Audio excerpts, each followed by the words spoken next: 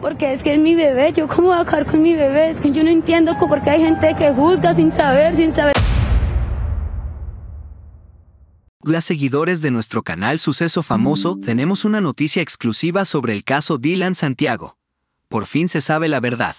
Sabía que la mamá de Dylan no aguantó más, confiesa ser la culpable de su muerte y señala a su amante ser su cómplice.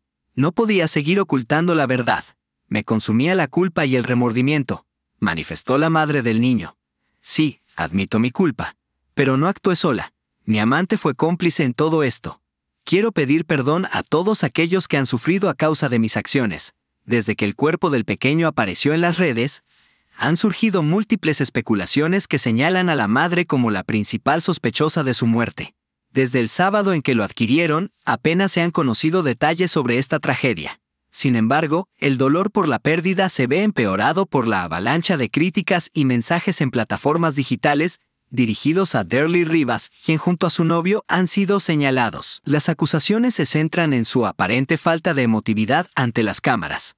Los comentarios en redes sociales alimentan la paranoia. Incluso el padre de Dylan ha sugerido tener información sobre los motivos de la muerte. Lo único que sé es que quiero que se esclarezca este caso y que salga a la luz toda la verdad, declara. La verdad ha salido a la luz, pero las repercusiones apenas comienzan. ¿Qué le deparará el futuro a los involucrados en este caso?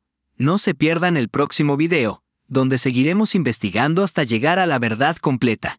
Considerando la situación de Derly Rivas y su familia, ¿qué acciones crees que podrían tomar para enfrentar las acusaciones y encontrar justicia para el pequeño Dylan?